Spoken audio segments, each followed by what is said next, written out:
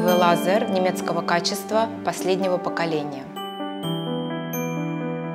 Наш лазер работает в двух режимах. Это аблация и нагрев. Лазер воздействует на молекулы воды. Под воздействием лазера вода испаряется, э, ткань нагревается. Но так как вода испаряется очень быстро, перегрева ткани не происходит. На режиме аблации аппарат делает в ткани микроперфорации, происходит образование новых сосудов, за счет чего улучшается качество ткани, ткань обновляется и омолаживается. На режиме термо э, происходит выработка коллагена и эластана, за счет чего происходит уплотнение ткани, подтяжка ткани и омоложение. Когда мы выбирали аппарат для нашей клиники, в первую очередь для нас было важно его безопасность. Ведь главное правило в медицине – это не навреди. Наш эрбиевый лазер действует на глубину подслизистого слоя, и он не вызывает ни рубцов, ни осложнений, которые бывают при работе на СО2 лазере. Второй важный момент при выборе для нас был – это эффективность.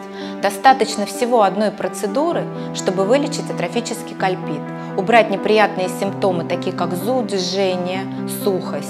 И достаточно всего двух процедур для того, чтобы добиться эффекта лифтинга, то есть подтяжки тонуса влагалища.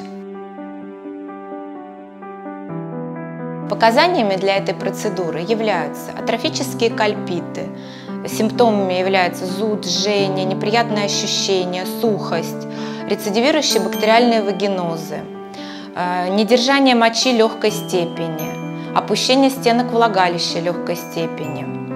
Кроуроз вульвы – это очень тяжелое заболевание, которое очень трудно поддается лечению. Также мы можем помочь в его лечении отбеливание промежности, омоложение интимной зоны, уменьшение объема влагалища, что приводит к улучшению ощущения во время близости обоими партнерами. Также улучшается увлажнение во время полового контакта, и также мы позволяем избавиться от э, избыточного воздуха, который дает также неприятные ощущения во время полового контакта женщины.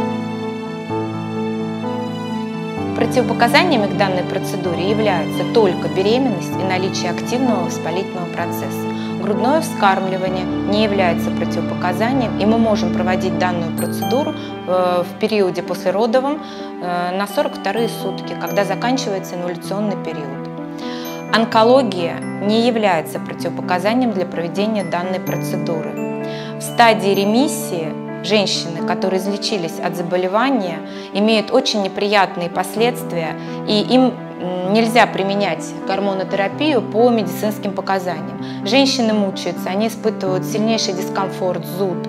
И процедура лазерного омоложения за один сеанс помогает им от этого избавиться. Я хочу отметить, что такой же аппарат Джулиет Асклепион стоит в крупнейшем научном онкологическом центре города Обнинска. И там, в этом центре, женщинам, излечившимся от онкологии в стадии ремиссии, помогают жить нормальной жизнью, чувствовать